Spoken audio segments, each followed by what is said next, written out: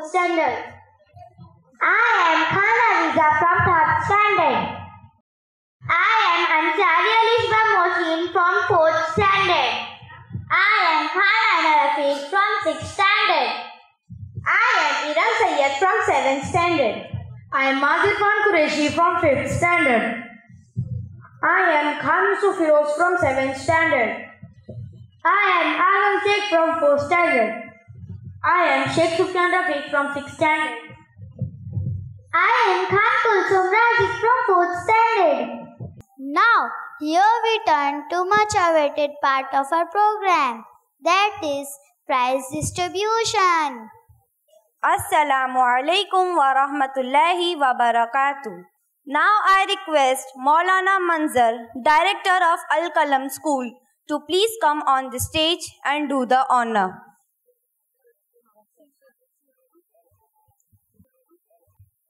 Now I would like to call Maulana Kamaluddin to please come on the stage and do the honor.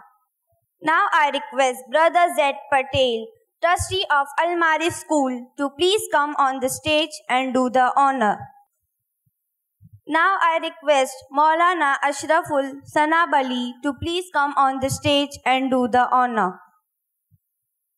Now I request Maulana Manzar, director of Al Kalam School, to please come on the stage and do the honor. The third prize goes to Sheikh Ashraful Azad of 5th standard.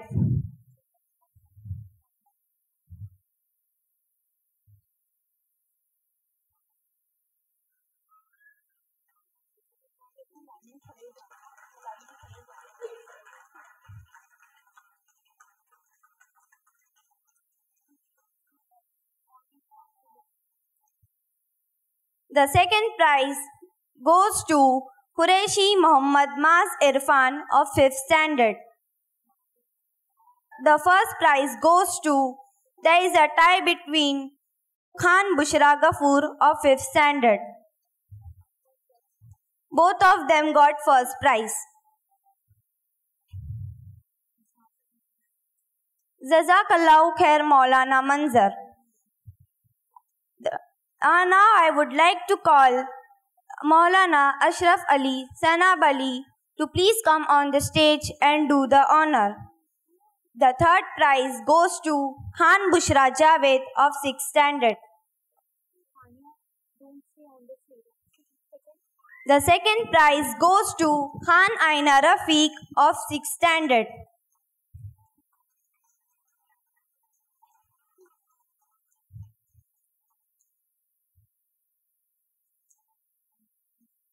The first prize goes to Sheikh Sufyan Rafiq of 6th standard.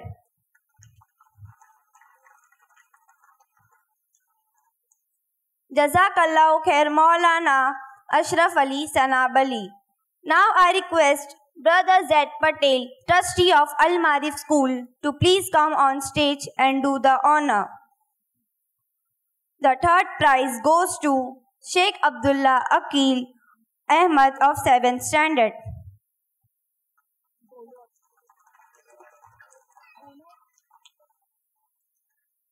The second prize goes to Sheikh Hajra B. M. B. M. Akil of 7th standard.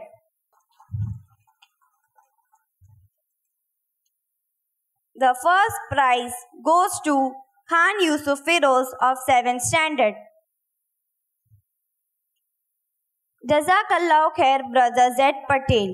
Hearty congratulations to all participants. Jazakallah khair to all the guests. Now I invite brother Z Patel to deliver his speech. अस्सलाम वालेकुम व रहमतुल्लाहि व बरकातुहू मेरे brothers sisters parents बच्चों जिम्मेदारान teachers एक school चलाना ख़ास तौर से एक इस्लामिक स्कूल चलाना जिसमें दोनों दुनिया की तालीम, इस दुनिया और आखिरत वाली दुनिया, दोनों दुनिया की कामयाबी की तालीम दी जाए, ये एक बहुत बहुत बहुत बड़ा काम है, बहुत अहम ज़रूरी काम है। और मैं समझता हूँ कि यहाँ पेरेंट्स भी मौजूद है और कुछ गेस्ट भी मौजूद है। मैं आप सबके सामने इन मौजूदा हालात में एक बहुत अहम बात रखना चाहता हूँ। देखिए, याद रखिए, कभी ऐसा होता है ज़िंदगी में कि हालात बिगड़ते जाते हैं। सराउंडिंग हालात बिगड़ते जाते हैं तो घर के अंदर की ज़िम्मेदारी और ज़्यादा बढ़ती जाती है। घर के अंदर अच्छी तालीम, अच्छी तरबियत देने की ज़िम्मेदारी और ज़्यादा बढ़ती जाती है। आप खुद देखिए, मिसाल के तौर पर इब्राहिम सलाम एक फितने के दौर में है। अल्लाह ताला ने उन्हें ईमान से नवाजा था। इब्राहिम सलाम किस तरह से ईमान पर जमे रहे? उनके दो बेटे। किस तरह से इसहाक और इस्माइल दोनों को उन्होंने तालीम दी, तरबियत दी? किस तरह से उन्हें बड़ा किया? यहाँ तक कि अल्लाह ताला ने कुरान में उनकी तालीम और तरबियत का ज़िक्र किया। कैसे उन्होंने उन्हें सिखाया, दीन सिखाया? और यह भी सिखाया कि तुम आगे जाओगे तो अपने बच्चों को सिखा के आना।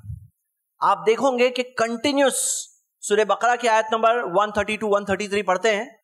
तो हम पढ़ते हैं कि इब्राहिम सलाम फिर उनके बच्चे, फिर उनके बच्चों में याकूब सलाम का ज़िक्र आ रहा है। और कैसे याकूब सलाम ने उनके बच्चों को सिखाया? कैसे सिखाया? अल्लाह के दीन पे जमे रहना। फला तमु तुन्ना इल्ला वान तुम मुस्लिमून। नहीं मरना सिवाय इस हाल में कि तुम मुस्लिम हो। ये सिखाया, ये चीज़ का ज़िक्र है और ये तालीम थी उन लोगों की। क्या आप यहाँ तक देखिए कि याकूब सलाम की मौत का वक्त है? और वो वक्त पर क्या वसीयत दे रहे हैं? कि माता कि माता अबुदूना मिम्बादी मेरी बात किसकी इबादत करोगे तुम लोग? ये सिखा कर जा रहे हैं, मरते वक्त तक अपने बच्चों को ये सिखा कर जा रहे हैं। मेरे भाइयों, मेरी बहनें, हम सब आज ज़िंदा है, एक ऐसे हिंदुस्तान में ज़िंदा है जहाँ आज़ादी है, अल्हम्दुलिल्लाह, जहाँ रिलीजन पर चलने में पाबंदियाँ नहीं है आगे का वक्त क्या होगा, कैसा होगा, अल्लाह से हम दुआ करते हैं, हम कोशिश करते हैं, हम अपनी ज़िम्मेदारी अदा करने की पूरी कोशिश कर रहे हैं, लेकिन आगे का तो हम नहीं जानते ना कि आगे की दुनिया में कैसी कैसी दुनिया हम आगे के बच्चों को देखे जा रहे हैं अपने, कि ये हमारे आज के छोटे बच्चे कल जब बड़े होंगे, कल वो जिस दुनिया का सामना करेंगे, वो दुनिया कैसी होगी, वो हमें तो नहीं पता ना। तो क्या आपको ये नहीं लगता कि हमारी ज़िम्मेदारी और ज़्यादा बढ़ गई इन हालात में? हाँ? हमारी ज़िम्मेदारी बढ़ गई कि खुद यहाँ से जाने से पहले, इस दुनिया से जाने से पहले अपने बच्चों को ऐसे सिखा के जाओ कि फला तमो तुन्ना इल्ला वन तुम मुस्लिमून, कि नहीं मरना सिवाय इस हाल में कि तुम मुस्लिम हो। अल्लाह के दीन पे हो, दीन हक पर हो, सच्चे दीन पर हो, जो सारे नबियों का बताया हुआ दीन है, जिसके बहुत सारे वाज प्रूफ है, क्लियर दलाइल है, इंसानों का मालिक एक है, हमारी सारी इबादत उसी के लिए होनी चाहिए। उसने नबियों के सिलसिले को भेजा, आखिरी नबी मोहम्मद को भेजा ये ज़िम्मेदारी है। देखिए, एक ज़िम्मेदारी है जो स्कूल में अदा हो रही है, अल्हम्दुलिल्लाह। लेकिन आप सब जानते हैं कि बच्चा ज़्यादा वक्त तो घर ही में गुजारता है और जो सबसे स्ट्रॉन्ग इंपैक्ट पर्सनैलिटीज जो होते हैं ना, उसकी ज़िंदगी में उसके माँ बाप होते हैं। यहाँ तक का कि माँ बाप अगर अमली तौर पर जो करते हैं, बच्चे बोले बगैर वो चीज़ सीख जाते हैं। माँ बाप क्या कर रहे हैं? बच्चे विदाउट स्पीच बोले बगैर वो चीज़ सीख जाते हैं तो हमें अपने कॉल से भी, अपने अमल से भी, दोनों एतबार से अपने बच्चों को दीन सिखाना है। अब आप जानते हो आपके सामने है कि कैसे कानून पास हो चुके हैं। फला फला धर्म वालों को नागरिकता दी जाएगी, फला को नहीं दी जाएगी। कुछ भी हो जाए, तुम्हें अल्लाह के दीन पे ही कायम रहना है। बच्चों को सिखा के आना है। क्या कहते हैं आप? अब मेरे भाई, मेरी बहनें, एक लेसन यहाँ से हम सब लेके जाएँ। एक बात, दस बातें नहीं, एक बात सीख के जाइए और इस बात को दिल में बिठा के जाइए। आपको अपने बच्चों के साथ वक्त गुजारना है। आपको बच्चों को लेके बैठना है। उनको दीन इस्लाम की एक एक एक एक बुनियाद वन बाय वन बैठ के सिखाना है उन्हें। एक एक चीज़। सच्चाई सिखानी है, ईमानदारी सिखानी है, खैर खाई सिखानी है। लोगों की मदद करना सिखाना है। ईमान के अरकान सिखाना है, इबादत के ताल्लुक से सिखाना है, अखलाक के ताल्लुक से सिखाना है, आदाब के ताल्लुक से सिखाना है वन बाय वन एक एक चीज़। हमें सिखाना है वन टू वन बैठ के सिखाना है। याद रखिए, जो ज़िंदगी का इम्पैक्ट आप अपने बच्चे पे देते हैं ना, वो चीज़ एक टीचर कोशिश करे तो भी वो इम्पैक्ट नहीं दे सकती जो माँ बाप दे रहे हैं। तो माँ बाप से मैं रिक्वेस्ट करूँगा, आप खुद भी दीन का इल्म बढ़ाएँ, दीन का इल्म सीखें इनशाला दीन पे कायम रहें खुद भी, दीन पर अमल करें। और बच्चों को लेकर बैठें, बच्चों की तालीम, बच्चों की तरबियत पे बहुत ध्यान दीजिए। उनको दीन में मज़बूत बनाएँ, उनको अखलाक में मज़बूत बनाएँ, उन्हें ईमान में मज़बूत बनाने की पूरी कोशिश करें। देखो, हमसे कोशिश कर सकते हैं। रियली हिदायत देना तो हमारे हाथ में है ही नहीं। जब फितने बढ़ते हैं ना, जब फितनों के माहौल बढ़ते हैं, जब बुरे कल्चर्स का असर लोगों के जहनों पे ज़्यादा होने लगता है, क्या होगा उसकी तो कोई गारंटी नहीं है। नो सलाम अपने बच्चे को नहीं दे पाए। लेकिन कोशिश तो हम कर सकते हैं, ताकि हम अल्लाह के सामने ये बात तो कहें कि अल्लाह, ये अमानत जो तूने मुझे दी थी, मैंने अपनी ज़िम्मेदारी पूरी करने की पूरी कोशिश की। तो अल्हम्दुलिल्लाह, आप सबने एक अच्छा कदम उठाया है कि आपने अपने बच्चों को खास एक ऐसे स्कूल में दाखिल किया, जिस स्कूल में दीन और दुनिया दोनों की तालीम है, अल्हम्दुलिल्लाह।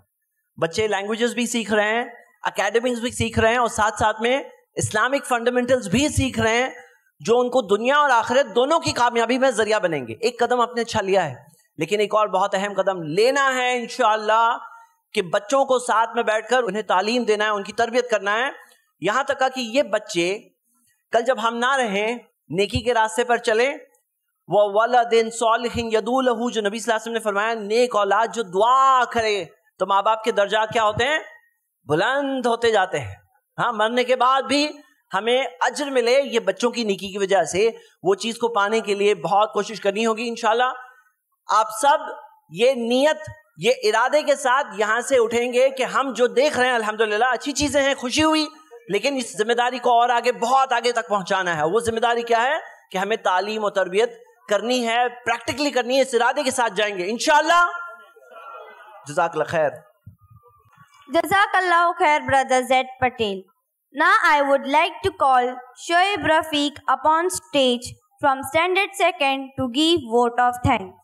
Assalamu alaikum wa rahmatullahi wa barakatuh.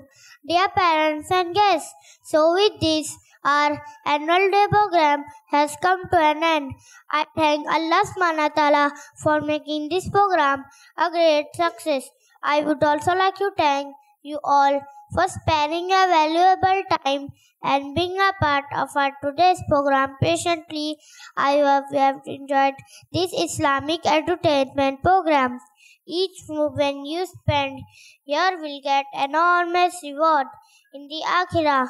Inshallah, may Allah subhanahu accept our efforts in His way. Ameen. Wa akhiru da'wana anil hamdulillahi rabbil alameen.